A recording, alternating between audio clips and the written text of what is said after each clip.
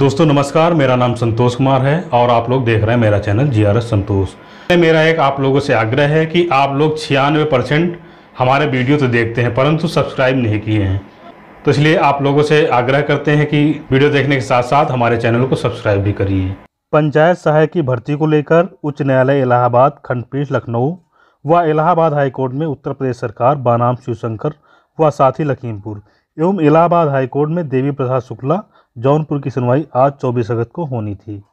इसमें हाईकोर्ट लखनऊ में जस्टिस राकेश श्रीवास्तव की कोर्ट नंबर चार में सुनवाई पूरी हुई। कोर्ट द्वारा पंचायत सहायक की भर्ती पर अभी फ़िलहाल कोई रोक नहीं लगाई गई है। भर्ती प्रक्रिया को रिट पिटीशन के अंतिम निस्तारण के अधीन रखने का निर्णय दिया है।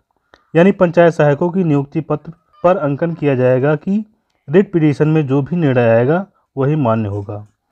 कोर्ट द्वारा लगभग एक माह में राज्य से काउंटर एफिडेविट मांगा गया है। इसके बाद केस सुनवाई हेतु लिस्ट कर दिया जाएगा। वहीं दूसरी सुनवाई इलाहाबाद हाईकोर्ट में उत्तर प्रदेश सरकार बनाम देवी प्रकाश शुक्ला, जौनपुर की सुनवाई सरकारी पक्ष के अधिवक्ता के न आने के कारण कोर्ट में कोई सुनवाई नहीं हो पाई। और इस केस की सुनवाई आगामी 27 अगस्त को होगी।